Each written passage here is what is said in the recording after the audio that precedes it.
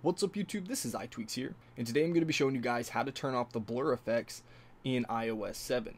So a lot of people don't like the animations in iOS 7, and now that that's kind of not an issue anymore, now they're complaining about the blur effects, and they don't like the blur effects. So you can see you have that effect down there, the dock, as well as in your control center right here, and in your notification center. If we pull that down, you can see you have that blur effect right there. Now I'm going to show you guys how to turn that off. All you have to do is go into your settings here, go into general, accessibility, and then go to increase contrast. You're going to toggle that on and now you're not going to have any more blur effect. You can see that you kind of have this gradient look to the dock right down there. It's not actually uh, blurred out as well as pulling up the control center right here.